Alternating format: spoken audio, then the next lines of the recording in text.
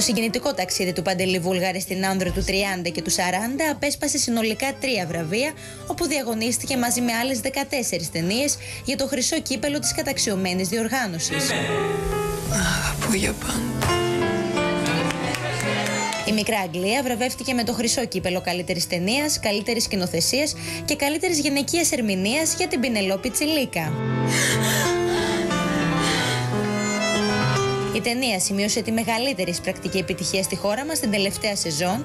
Είναι γυρισμένη εξ ολοκλήρου στην Άνδρο και βασισμένη στο ομότιτλο μυθιστόρημα της Ιωάννας Καριστιάνη, η οποία επιμελήθηκε και τη σεναριακή διασκευή του.